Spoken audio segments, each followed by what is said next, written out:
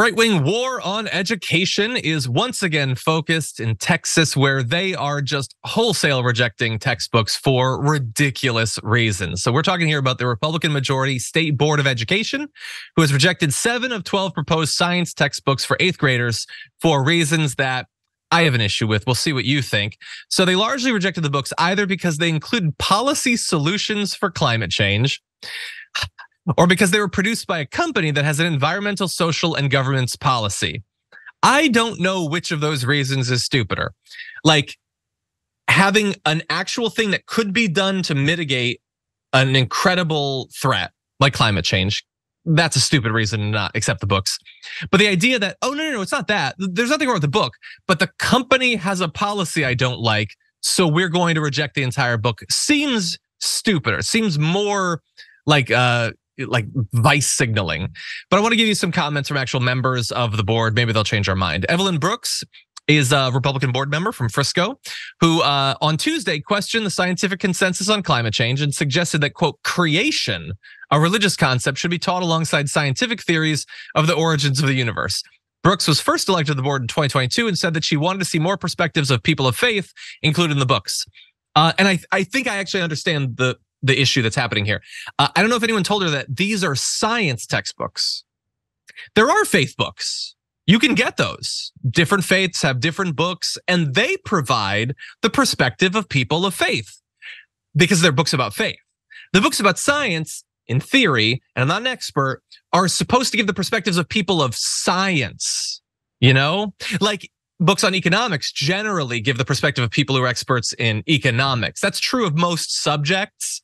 That's how it works. You know, the English lit books don't have to focus on the perspectives of physics people. There's different segments of education and they're allowed to focus on that thing. Now, obviously I'm being incredibly uh, like uh, sarcastic here, but yeah, like having a person who rejects the books because they present a theme that humans are causing climate change. They're, they're pretending that their issue is with the book. No, their, their issue is with reality. Humans have caused climate change. That's what has been shown. You can try to hide your kids from understanding that, but you can't change the fact that it is an established fact. Now, we, to be fair, have to bring in someone from Texas to defend the state. So, Yaz, what do you think? Yeah, I cannot possibly defend Texas. And I, I resent that I was put in the position to do so, John. Sorry. But also, it's, it's, it's especially egregious for them to be denying climate change when we live in Texas, right? We feel it. We know that the planet is hotter now than it used to be, and it's not okay. And it's like today we have a cold front, but yesterday was 80 degrees here in like at Thanksgiving time. It's too much. But this is oil and gas country, right? They will never acknowledge that human beings have contributed to global warming on a catastrophic scale in this country because if they do, this state, Texas, loses money and we lose influence not only in the country, but around the world, right? Texas has a lot of pull with these oil and gas companies, and they have a lot of pull as far as, you know, like the pricing of gas and the availability of oil and gas across the country, fracking, things like that.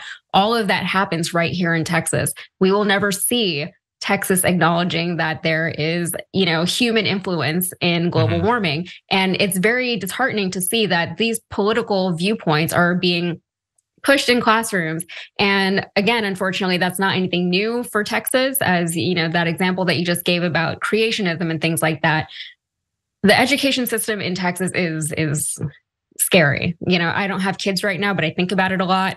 And if yeah. I did have kids, I would have to consider, you know, either private schooling them or maybe homeschooling them, which like was never an attractive idea to me ever in life, or just moving out of the state because it is it is very questionable what they're trying to do in these schools. And they're doing yeah. it in a very concerted way in even in, you know, like suburban rural communities and taking over school boards and things like that.